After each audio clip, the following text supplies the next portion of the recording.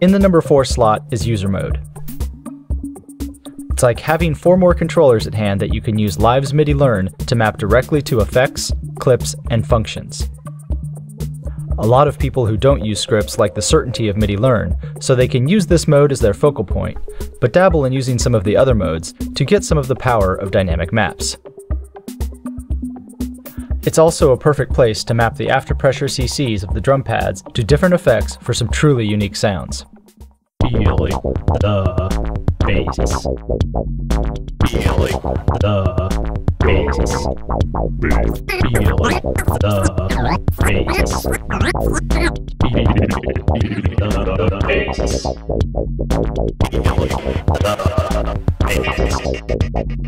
Feeling the bass basis.